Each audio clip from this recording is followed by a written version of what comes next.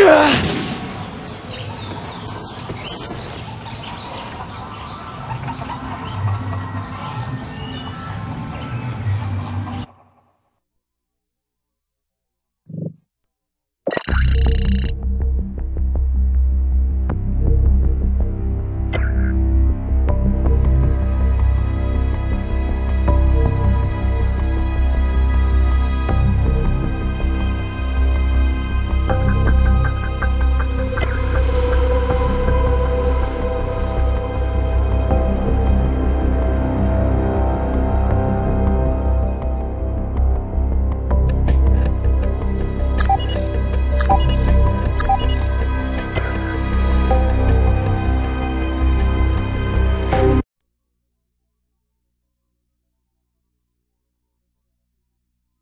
Yeah, I shot this guy so many times in the face.